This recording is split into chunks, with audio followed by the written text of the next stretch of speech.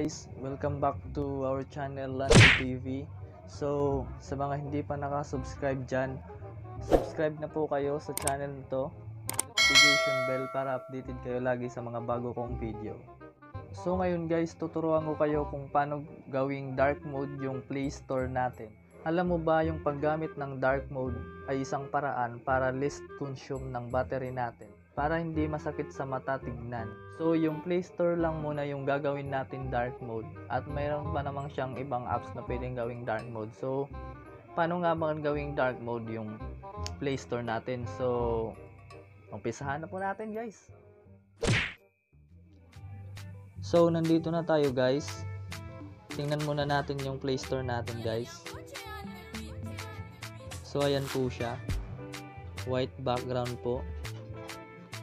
So, yung gagawin natin guys, magda-download lang tayo ng dark mode. So, ito po siya.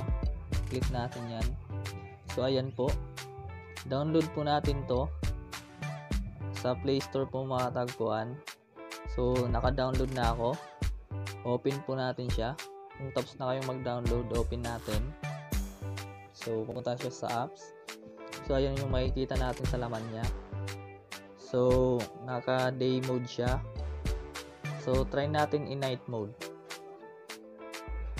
So, ayan. Basahin natin yung ito basahin natin to so ito yung mga dapat nating malaman so yung dark mode rel relax sa eyes natin tapos your battery battery is last longer so magtatagal siya you don't have to wait for Android 10 to get the dark mode so ayan kasi meron na siyang apps so ito yung mga apps na supported sa dark mode natin. So, tingnan natin.